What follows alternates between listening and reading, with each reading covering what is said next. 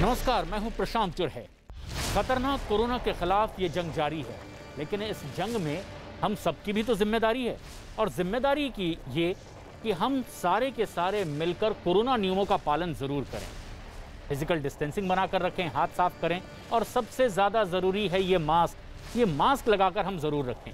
News eighteen ने तो इसके लिए एक मुहिम भी शुरू की है। हैशटैग मास्क पहनो इंडिया ये मास्क हम तब तक ना उतारें जब तक ये तय ना कर लें कि हम लोगों से बिल्कुल अलग हैं, सुरक्षित जगह पर हैं। जैसे इस वक्त हम अपने स्टूडियो में मौजूद हैं, कोरोना के खिलाफ इस लड़ाई में ये मास्क ही हमारा इस समय सबसे बड़ा हथियार है। और एक बड़ी खबर भी आ रही है इस वक्त उत्तर प्रदेश के आगरा से। वहाँ एक वायरल वीडियो के बाद सुर्खियों में आए चिपारस अस्पताल पर डीएम की रिपोर्ट पर फिर से हलचल शुरू हो गई है। इस मामले में सियासी बवाल भी आ रहा है। और अब एक के बाद एक बयान सियासत के जुड़े लोग दे रहे हैं। वहीं राज्य के स्वास्थ्य मंत्री जयप्रताप सिंह ने ज़रूरत पड़ने पर फिर से जाँच करने की बात कही है। श्री पारस अस्पताल पर जिला प्रशासन की रिपोर्ट आने के बाद पीड़ितों ने इसकी सीबीआई जाँच कराने की मांग की है।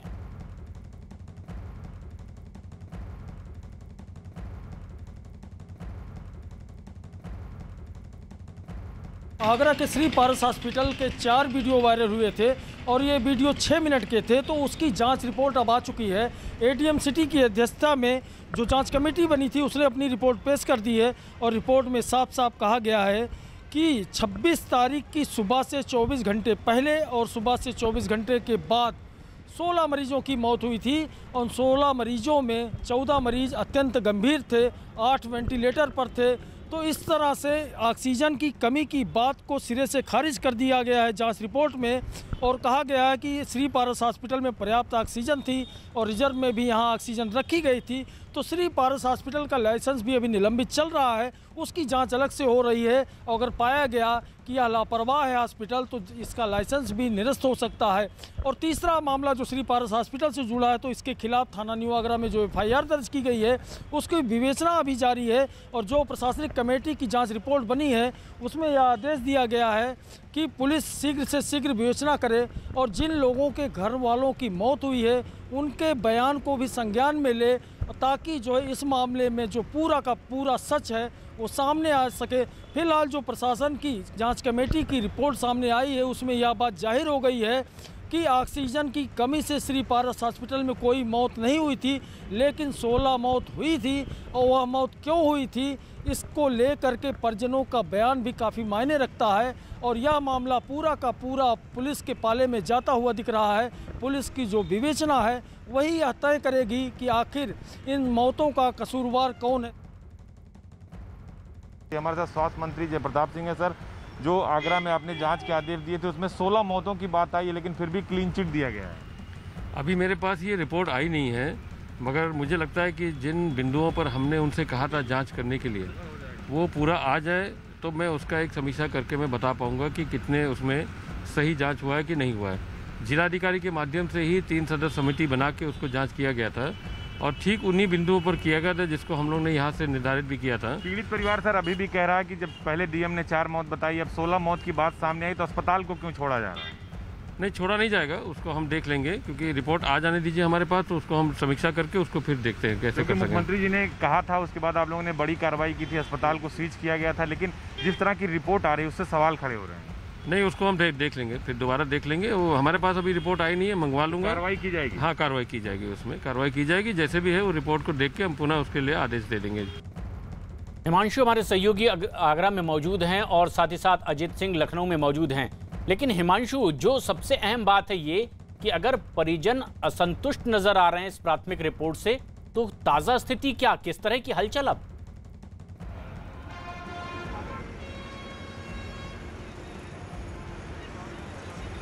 हिमांशु हमारी आवाज़ अगर आप तक पहुँच रही है किस तरह की हलचल आप देख पा रहे हैं अस्पताल के सामने परिजनों की ओर से?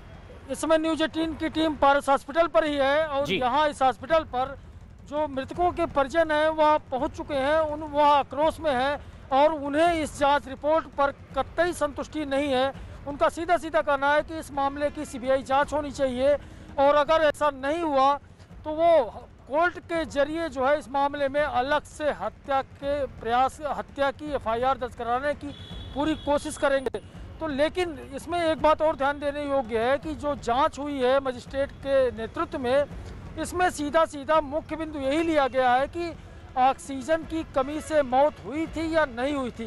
तो जाँच रिपोर्ट में स्पष्ट यही कहा गया है कि ऑक्सीजन की कमी से हॉस्पिटल में मौत नहीं हुई थी। तो मौत किस वजह से हुई थी? इसकी इसके लिए डेथ ऑडिट कमेटी जो है डॉक्टरों की, उसने रिपोर्ट दी है और जो 16 लोगों की मौत हुई तो हर एक मरीज़ के नाम के आगे उसकी मौत का कारण भी स्पष्ट रूप से अंकित है। इसमें जो परिजनों ने बयान दर्ज कराए हैं, मृतकों के परिजनों ने, उनके बयान को लेकर के अब पुलिस की भूमिका महत्वपूर्ण हो जाती है। चूँकि महामारी एक्ट अधिनियम के तहत जो है, न्यू आगरा थाने में एफआईआर दर्ज है और उस दर्ज की विवेचना जारी है। तो उसमें उस एफआईआर में ही इन लोगों की बातों को शामिल किया जाएगा।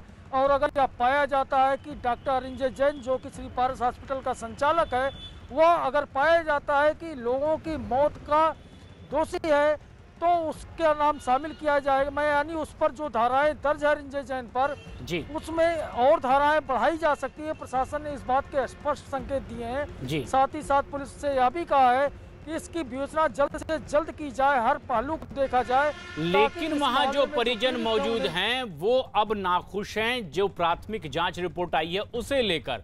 और इसीलिए पीड़ित परिवार अब इस पूरे मामले में सीबीआई जाँच की भी मांग कर रहे हैं। डॉक्टर अरंजन जैन के खिलाफ जो इन्होंने ये मुकदमा दर्ज कराया था महामारी एक्ट में तो वो चीज़ मैं पहले भी कह चुका था कि ऊँट के मुँह में जीरा।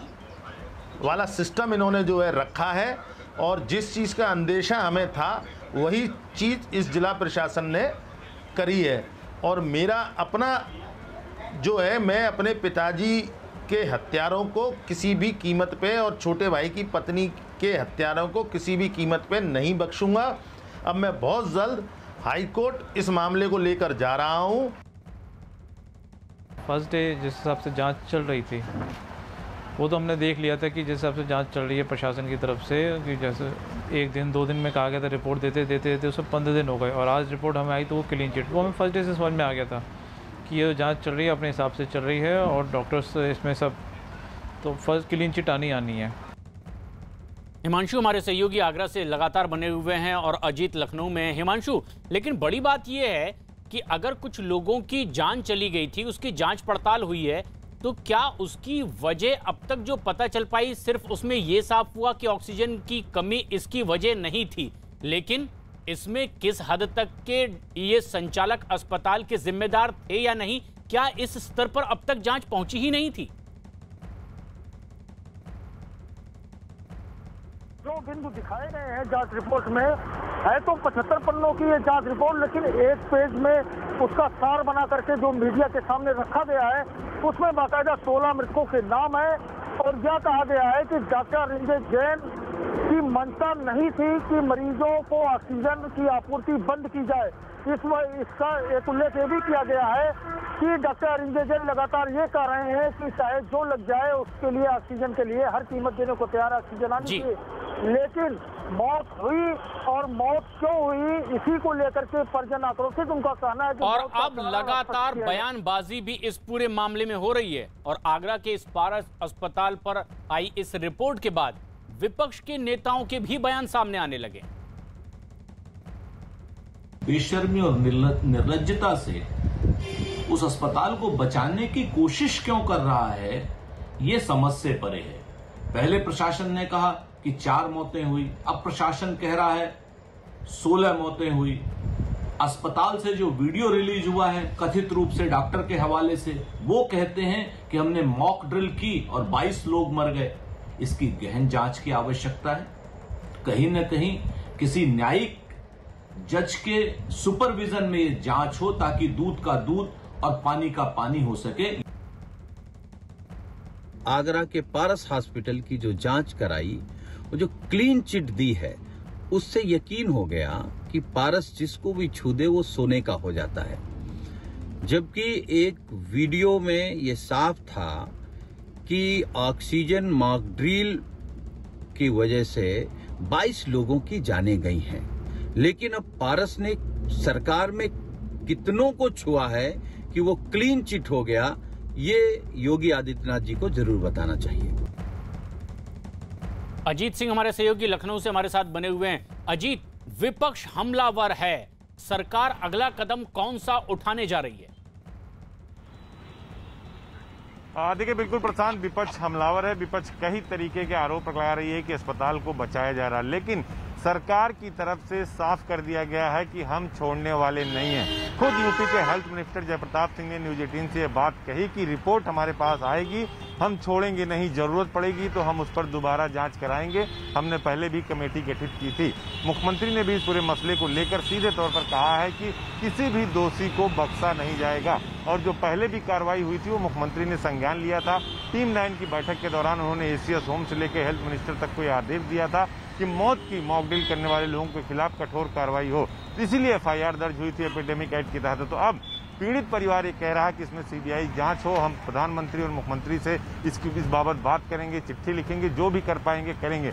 लेकिन 16 मौतों की जो बात आई है क्या वो जो रिपोर्ट आई है पचहत्तर पन्नों की उसमें किस चीज़ का ज़िक्र है? क्योंकि पहले चार मौत की बात डीएम ने कही थी बाद में सोलह मौत की बात जाँच रिपोर्ट में आई है उस तारीख की। तो अब सवाल कई सारे खड़े होते हैं। क्या उस अस्पताल को बचाए जाने की कोशिश लोकल अफसर के अधिकारी कर रहे हैं हाँ। या फिर वो इतना रसूखदार आदमी है कि उसके खिलाफ कार्रवाई करना बड़ा मुश्किल हो रहा है। क्योंकि एक साल पहले भी इसी अस्पताल को सुर्खियों में आया था जब इसके परिवार के लोग बाहर से आए थे और यहाँ एडमिट कर दिया था कोविड से बहुत सारे मरीज़ परेशान हो गए थे। तो मुख्यमंत्री ने साफ़ कर दिया है कि जाँच पारदर्शी तरीके से होगी कार्रवाई उस हर व्यक्ति पर होगी जो दोषी होगा लेकिन आगरा प्रशासन ने ये ज़रूर क्लीन चिट दे दी है कि ऑक्सीजन से कोई मौत नहीं हुई है। क्योंकि जो डॉक्टर जैन है जो मालिक है उनका यही वीडियो वायरल हुआ था कि हमने पाँच मिनट मिनट की मॉक ड्रिल की थी जिसमें 22 लोग छट लिए। यानी 22 लोग मर गए। तो अब कई सारे सवाल होते हैं लेकिन सरकार का रुख साफ़ है ज़रूरत पड़ेगी तो हम दोबारा जाँच कराएँगे। किसी भी दोषी को छोड़ा नहीं जाएगा जिन्होंने लोगों की सांसों के साथ ज़िंदगी के साथ खिलवाड़ किया उत्तर प्रदेश के स्वास्थ्य मंत्री कह रहे हैं कि ज़रूरत पड़ी तो जाँच होगी लेकिन हिमांशु त्रिपाठी आगरा में ही मौजूद है हमारे सहयोगी उसी अस्पताल के बाहर। हिमांशु जब डीएम की रिपोर्ट में प्राथमिक तौर पर यह कह दिया गया कि मौत के लिए वो जिम्मेदार नहीं है, ऑक्सीजन की कमी की वजह से वो मौतें नहीं हुई है। पुलिस महकमे ने क्या उस वीडियो को भी इससे जोड़कर पड़ताल की है, जिसमें कहा गया कि ऑक्सीजन पर निर्भरता को देखकर मरीजों को छांटने के लिए इस तरह का कदम उठाया गया था?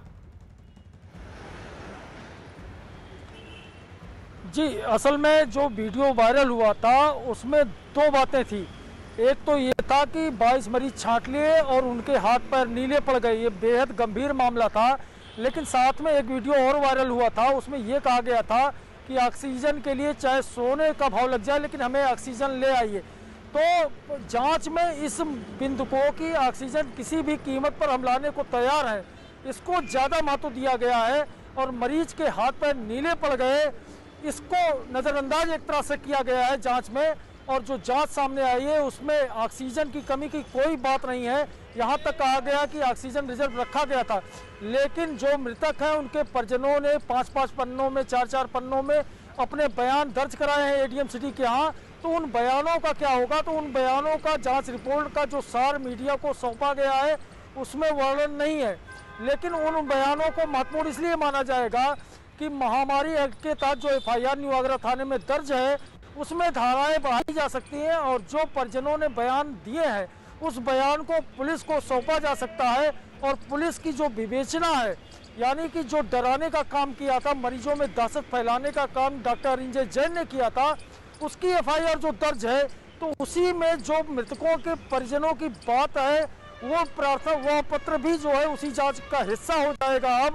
और जो न्यू आगरा थाने में जाँच चल रही है उस विवेचना में इन बिंदुओं को शामिल किया जाएगा। तो जो इन लोगों ने लापरवाही के आरोप लगाए हैं अगर लापरवाही के आरोप पुलिस की जाँच में पाए जाते हैं हम्म। तो धाराएँ बढ़ेंगी और इसमें हत्या जैसी धाराएँ भी बढ़ सकती यानी पुलिस अगर... को अभी आगे और इस पर कार्रवाई करनी है पड़ताल अपनी आगे बढ़ानी है। अजीत लेकिन आपने तो उत्तर प्रदेश के स्वास्थ्य मंत्री से बात की। अगर परिजन अब असंतुष्ट हैं इस प्राथमिक जाँच पड़ताल और रिपोर्ट से और वो कह रहे हैं कि सीबीआई जाँच इसकी होनी चाहिए इस पर क्या प्रतिक्रिया है सरकार की ओर से? देखिए, बिल्कुल सरकार ने साफ़ कर दिया है कि जो हमारी टीम गठित है, वो जाँच कर रही है। अगर जाँच में किसी प्रकार की कोई कमी होगी तो हम इसे दोबारा जाँच कराएँगे, लेकिन हम किसी दोषी को नहीं छोड़ेंगे। हेल्थ मिनिस्टर जयप्रताप सिंह ने साफ़ कर दिया है कि हमारी जाँच सही तरीके से होगी और जिन्होंने भी मॉकड्रिल किया उन्हें छोड़ा नहीं जाएगा। जो रिपोर्ट आई उसमें ऑक्सीजन कमी की बात ठीक है कि ऑक्सीजन की जो आपूर्ति थी, वो उस अस्पताल में थी, क्योंकि एक सवाल और है, प्रशांत। क्योंकि उस अस्पताल को जो चाहे 25 से लेकर 27 तक की जो जिस तारीख की बात थी अप्रैल की जब यह मॉकड्रिल की गई थी उस वक्त ऑक्सीजन की आपूर्ति जिला प्रशासन ने पारस अस्पताल को की थी और उन्होंने अपनी रिपोर्ट में बाकायदा ये बताया था कि तीनों दिन यानी 24, 25, 26 जिस दिन की बात थी तीनों दिन इनके पास पर्याप्त ऑक्सीजन था। तो ऑक्सीजन कमी इनके पास नहीं थी जिन्होंने मॉकड्रिल क्यों की? तो ये भी हो सकता है कि जाँच रिपोर्ट इस बात को बताने की कोशिश कर रही हो कि हमने ऑक्सीजन दिया था तो ऑक्सीजन कम कैसे पड़ गया? लेकिन जो मॉकड्रिल की थी डॉक्टर जैन ने उन्होंने सीधे तौर पर कहा था कि हमने ट्रायल किया था। क्या वो मरीजों की संख्या कम करना चाहते थे उन्हें छांटना चाहते थे या फिर उनकी ज़िंदगी के साथ खिलवाड़ कर सकते थे? क्योंकि हेल्थ मिनिस्टर ने यह भी कहा था कि कोई भी व्यक्ति एपिडेमिक एड के तहत मॉकड्रिल तो कर ही नहीं सकता। सिर्फ़ फायर यानी अग्निशमन के लोग ही मॉकड्रिल करते हैं। तो उसके तहत उनके खिलाफ एफआईआर है। तो अभी भी सरकार का स्टैंड साफ़ है क्योंकि पीड़ित कह रहे हैं कि सीबीआई जाँच होनी चाहिए लेकिन सरकार ये सीधे तौर पर कह रही है कि हमारी जो जाँच है वो ठीक दिशा में चलेगी। अगर उसमें कोई गड़बड़ी होती है तो हम इसे दोबारा जाँच कराएँगे लेकिन छोड़ेंगे किसी को भी नहीं क्योंकि पूरे मसले का संज्ञान मुख्यमंत्री ने खुद लिया है और उनके संज्ञान में सारी बातें आई हुई हैं। प्रधान। लेकिन उत्तर प्रदेश के डिप्टी सीएम दिनेश शर्मा ने कहा कि उन्होंने अभी इस रिपोर्ट को देखा नहीं और रिपोर्ट देखने के बाद ही वो इस पर कुछ कहने वाले। मैं भी प्रशासन का जो भी आया होगा, निष्पक्ष जाँच उन्होंने करी होगी। मैं उसका पूरा विस्तृत अभी विश्लेषण करने के बाद कुछ कह पाऊँगा हिमांशु, आपकी परिजनों से भी बातचीत हो रही होगी आगरा में, जो असंतुष्ट हैं इस प्राथमिक रिपोर्ट से और जाँच से सीबीआई जाँच की जो अब मांग कर रहे हैं आगे। अगर सरकार की ओर से ये कहा जा रहा है कि आगे इसकी पड़ताल और की जाएगी और लोग असंतुष्ट हैं तो पूरी जाँच नए सिरे से करवाई जाएगी। क्या सरकार के इस आश्वासन से वो संतुष्ट हैं भरोसा कर रहे हैं या अपनी मांग पर अब भी कायम है? जी बिल्कुल तो इसका जवाब बेहतर परिजन ही दे सकेंगे। और जो परिजन है मृतकों के वो हमारे साथ है न्यूज़ एटीन से बात करने के लिए। तो आप बताइएगा सरकार ने कहा है कि अगर जाँच में कोई कमी है तो हम इसकी दोबारा जाँच कराएँगे। तो इस पर आप क्या क्या प्रतिक्रिया? देखिए ये जो स्वास्थ्य मंत्री जी का जो अभी आ, आपके द्वारा ही मुझे ज्ञात हुआ कि जो स्वास्थ्य मंत्री जी ने जो अभी कहा है कि मैं दोबारा से जाँच इसकी हम कराएँगे हमारे पास जाँच नहीं आई है तो मैं दोबारा से यही कहूँगा कि अगर स्वास्थ्य मंत्री जी को जाँच करानी है तो किसी स्वतंत्र एजेंसी से जाँच कराएँ। इस प्रशासन से जाँच ना कराएँ अगर इस प्रशासन से जाँच कराएँगे तो जाँच रिपोर्ट ये वही की वही आएगी।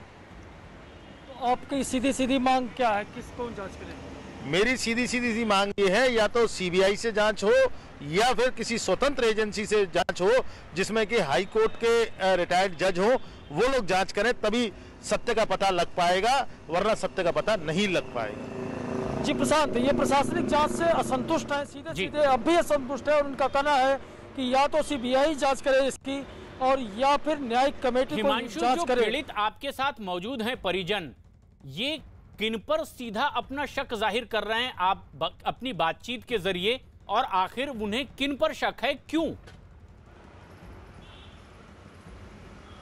जी आपको इस मामले में किस पर शक है और क्यों शक है? कौन ऐसा है डॉक्टर इंजय जैन है कि कौन क्या क्यों शक है आप क्यों जाँच के देखिए डॉक्टर अरंजन जैन के जो राजनीतिक संबंध हैं वो बहुत गहरे संबंध हैं और चूँकि पिछली बार भी पिछले कोरोना काल में भी इनका ये हॉस्पिटल सील कर दिया गया था और इसी आगे इसी रोड पे ही सार्थक नर्सिंग होम है उनके खिलाफ भी महामारी एक्ट का मुकदमा दर्ज हुआ था तो सार्थक हॉस्पिटल के संचालक को पुलिस ने तत्काल गिरफ़्तार करके जेल भेज दिया था।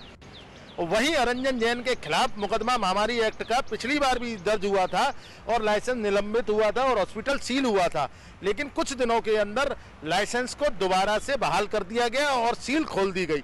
वही चीज़ अब की बार सामने को देखने को जो मिली है, वो भी यही चीज़ देखने को मिली है कि सील हो गया हॉस्पिटल महामारी एक्ट में मुकदमा दर्ज हो गया, लेकिन अभी तक उनके खिलाफ कोई कार्रवाई किसी प्रकार की नहीं हुई। और जाँच में भी जो है, उनको क्लीन चिट में मतलब दूध में से मक्खी की तरह हम जैसे पीड़ितों को निकाल के बाहर कर दिया। और आरोपी के जो शब्द थे, वही शब्द इन्होंने उस जाँच रिपोर्ट में आधार बना के उन डॉक्टर को क्लीन चिट दे दी। आप देख सकते हैं प्रशांत कितनी नाराज़गी हमारे साथ। और भी परिजन इनसे बात करेंगे। आप बताइएगा आप क्या कहेंगे इस जाँच रिपोर्ट पर? देखिए मैंने 26 तारीख को सीएम योगी हेल्पलाइन पे भी मैंने कॉल करके उनको बताया था कि मेरी आप मदद कर सकें कि ऑक्सीजन सिलेंडर मेरा अरेंज करवा सकें। मेरे दादाजी अंदर एडमिट हैं मेरी चाची एडमिट है लेकिन कोई सुनवाई उसकी नहीं हुई। और जो अब जाँच जो दोबारा से मतलब जो अब आई है उसमें देखने के बाद में कुछ नहीं लगता कि अब कुछ आगे हो पाएगा। हम आगे हाईकोर्ट के लिए आगे के लिए हम जाएँगे। जी। दोबारा जाँच की बात कर रहे हैं स्वास्थ्य मंत्री उस पर क्या करना है आपका? जब तक डीएम साहब यही रहेंगे तो जाँच कहाँ से होगी? तो प्रशासन से सीधी सीधी नाराज़गी है और ये नाराज़गी मृतकों के परिजन ज़ाहिर कर रहे हैं और इनकी सीधी मांग है कि जाँच सीबीआई से कराई जाए या न्यायिक जाँच हो इस मसले की तभी इनको संतुष्टि मिलेगी स्थानीय प्रशासन से पीड़ित परिजन नाराज़ नज़र आ रहे हैं और स्वतंत्र जाँच की मांग की जा रही है इस पूरे मामले में। ऐसे में जबकि सरकार की ओर से कह दिया गया है कि अगर असंतुष्ट हैं पीड़ित तो नए सिरे से इसकी जाँच करवाई जाएगी। एक बड़ी खबर इस वक्त आ रही है। दिल्ली पुलिस ने सेना के एक फर्जी अधिकारी को गिरफ़्तार किया है। पुलिस के मुताबिक यह शख्स खुद को सेना में कैप्टन बताता था। इसके पास से सेना की नकली वर्दी, सेना अधिकारी का फर्जी आईडी कार्ड और एक मोबाइल फ़ोन भी बरामद किया गया है। आरोपी ने जिन इंटरनेशनल नंबरों पर बातचीत की या जिन इंटरनेशनल नंबर से इस पर कॉल आए हैं, उनकी भी जाँच पड़ताल की जा रही है। शुरुआती पूछताछ में यह पता चला है कि पाकिस्तान की खुफिया एजेंसी आईएसआई की एक एजेंट हनी ट्रैप के ज़रिए इस नकली अफसर के संपर्क में थी।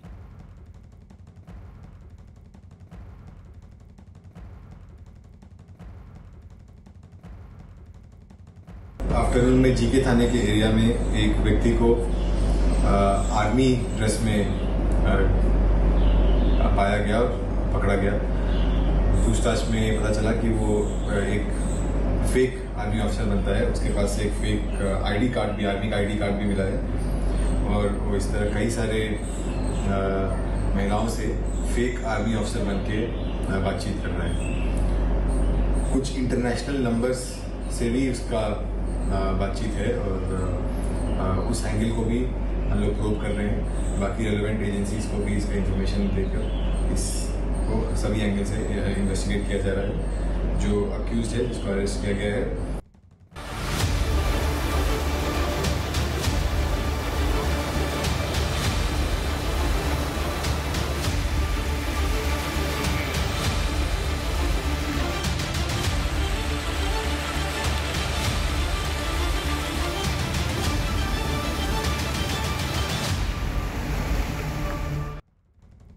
उत्तराखंड के चमोली में पिछले 48 घंटों से लगातार हो रही बारिश ने अब लोगों की परेशानियाँ और ज़्यादा बढ़ा दी है। तेज बारिश की वजह से वहाँ बद्रीनाथ हाईवे पर पहाड़ का एक मलबा भी आ गया है। इस वजह से कई गाड़ियाँ वहाँ फंस गई। मलबे में दबकर कुछ गाड़ियों को भारी नुकसान भी हुआ। इतना ही नहीं, चमोली के जयकंडी के पास में एक ट्रक अलकनंदा नदी के किनारे दलदल में फंस गया है। बाद में तेज बारिश की वजह से अलकनंदा नदी के बढ़ते जलस्तर में वही ट्रक पानी में समाया हुआ दिखाई दिया। और ये चार तस्वीरें भी जो आपने देखी, उसमें ये साफ़ दिखाई दे रहा है कि किस तरह से उत्तराखंड में अलग अलग इलाकों में लगातार बारिश की वजह से दिक्कतें बढ़ती चली जा रही है। ये आफत की बारिश चमोली इलाकों में पिछले 48 घंटों में लगातार होती जा रही है। चमोली में ये बारिश की वजह से नदियाँ उफान पर है। कई जगह भूस्खलन भी हो रहा है। पहाड़ का हिस्सा सड़कों पर आकर गिर गया। तो ट्रक को नुकसान पहुँचा। तो कई जगह लबालब भरी ये नदियाँ अपने किनारे बने कई मंदिरों को डुबोती चली गई। उत्तराखंड के चमोली की ये तस्वीर हमारे दर्शक इस वक्त देख रहे हैं। बारिश की वजह से लगातार यहाँ आसपास की नदियाँ उफान पर है। नदी के किनारे ये एक ट्रक फंसा हुआ था। और मलबा इस पर आ रहा था। नुकसान इसे काफ़ी हुआ, लेकिन फिर बारिश रुकी नहीं और मलबे के साथ धीरे धीरे फंसा हुआ ये ट्रक अगली तस्वीर में पूरी तरह से पानी में डूबता दिखाई दे रहा है। उत्तराखंड में जो लगातार बारिश हो रही है, उससे किस तरह के हादसे सामने आ रहे हैं, ये उसकी बानी नदी के किनारे ये ट्रक में फंसा हुआ था और ट्रक फिर थोड़ी ही देर बाद नदी में बहता दिखाई दिया। देश के कई हिस्सों में कई घंटे से लगातार बारिश हो रही है और लोगों की परेशानियाँ इसलिए बढ़ती भी जा रही है। उत्तराखंड के श्रीनगर में तो तेज बारिश की वजह से अलकनंदा नदी में उफान आ गया मंदिर में पानी समा गया है। कई मंदिर पूरी तरह से डूब गए। पिथौरागढ़ में तो कई पेड़ नदी में बहते नज़र आ रहे हैं। बिहार के बेतिया में बाढ़ का पानी थाने में घुस गया। तो छपरा में एक दूल्हा दुल्हन बीच बाढ़ में फंस गए। नाव के ज़रिए उन्हें सुरक्षित निकाला गया। यूपी के मुरादाबाद में भी तेज बारिश की वजह से सड़कें दरिया में तब्दील नज़र आ रही है। देश के अलग अलग राज्यों में लगातार बारिश के बाद किस तरह की तकलीफ़ देने वाली स्थिति बन गई है, ये तस्वीर वहीं से आती हुई उत्तर प्रदेश, उत्तराखंड और बिहार के कई इलाकों में कुछ ऐसा ही नज़ारा देखने को मिल रहा है। उत्तराखंड के श्रीनगर में तो नदी इस कदर उफान पर है कि नदी किनारे ही बने कई मंदिर पूरी तरह से डूबे नज़र आ रहे हैं। उत्तराखंड में मौसम ने एक बार फिर करवट ली है और उत्तराखंड में कई जगह पर तेज बारिश हो रही है। वहाँ टेरी गढ़वाल में ऋषिकेश श्रीनगर हाईवे पर पहाड़ का एक हिस्सा अचानक टूटकर गिर पड़ा है। इस घटना का वीडियो भी सामने आया। जिसमें साफ़ दिखाई दे रहा है कि पहाड़ का मलबा टूटकर सीधे उस हाईवे पर जैसे ही गिरा तो मलबे से उठता धुएँ का गुबार आसमान छूता दिखाई देने लगा। ऋषिकेश श्रीनगर हाईवे को एहतियात के लिए फ़िलहाल बंद कर दिया गया है। गनीमत ये रही कि इस वक्त इस हाईवे पर, उस जगह पर कोई गाड़ी नहीं थी, वरना ये हादसा और बड़ा हो सकता था। लेकिन मलबा पहाड़ से गिरता देख उस पूरे हाईवे पर दूर तक चीख पुकार मच गई। गाड़ियों को जहाँ के वहाँ रोक दिया गया। फ़िलहाल, ये हाईवे पूरी तरह से बंद है, मलबा हटाने का काम जारी है। लेकिन जैसे ही ये मलबा गिरा, वहाँ लोगों की घबराहट और चीख पुकार साफ़ सुनी जा सकती है।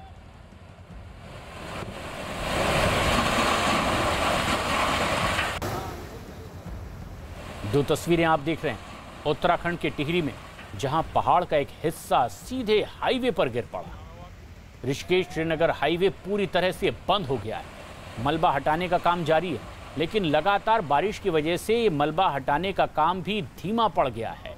वहीं दूसरी तस्वीर है श्रीनगर की, जहाँ लगातार बारिश के बाद अलकनंदा नदी भी उफान पर है और नदी किनारे बने कई मंदिर पूरी तरह से इस पानी में समा गए हैं। जलमग्न कई ऊँचे मंदिरों की सिर्फ़ चोटियाँ ही दिखाई दे रही है। उत्तराखंड के कई इलाकों में इसी तरह लगातार बारिश है और ये लोगों की परेशानियाँ बढ़ाते जा रहे उत्तराखंड के चमोली में भी पिछले 24 घंटों से लगातार बारिश हो रही है और लोगों की परेशानियाँ बढ़ती चली जा रही तेज बारिश की वजह से बद्रीनाथ हाईवे पर पहाड़ का मलबा आ गया है। गाड़ियाँ यहाँ पर फंस गई है। मलबे में दबकर कुछ गाड़ियों को भारी नुकसान हुआ। है जंगल पट्टी के पास तो सड़क पर मलबा आने से एक ट्रक दलदल में फंस गया और कुछ देर बाद अलकनंदा नदी में ही ये ट्रक समा गया। कई गाड़ियाँ और भी हैं जिन्हें नुकसान पहुँचा है, जो रास्ते में ही फंस गई हैं। कुछ चट्टानों से टकराई दिखाई दे रही हैं तो कहीं ट्रक उस मलबे में बीच रास्ते में फंसा दिखाई दे रहा है। लेकिन यही ट्रक कुछ देर बाद मलबे के साथ बहता हुआ अलकनंदा नदी में दूर बहता दिखाई दिया। उत्तराखंड में कई इलाकों में लगातार बारिश हो रही है। पिंडर नदी और अलकनंदा नदी दोनों उफान पर है लगातार बारिश की वजह से। बद्रीनाथ हाईवे की ये तस्वीर आप देख रहे हैं।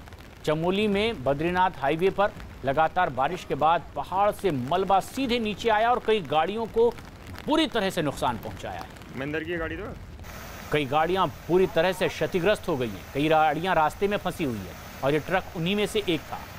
क्योंकि पहाड़ के ऊपर से आता हुआ मलबा इन गाड़ियों को आगे बढ़ने नहीं दे रहा था। कुछ देर फंसा ये ट्रक, बाद में नदी में दूर तक बहता भी दिखाई दिया। उत्तराखंड के कई इलाकों में पिछले 48 घंटे से लगातार बारिश हो रही है। श्रीनगर के पौड़ी गढ़वाल में तो तेज बारिश की वजह से अलकनंदा नदी उफान पर है। नदी में उफान की वजह से निचले इलाकों में अब बाढ़ का खतरा मंडराने लगा। पौड़ी गढ़वाल में अलकनंदा नदी के किनारे मंदिर पूरी तरह से पानी में डूबे दिखाई दे रहे हैं।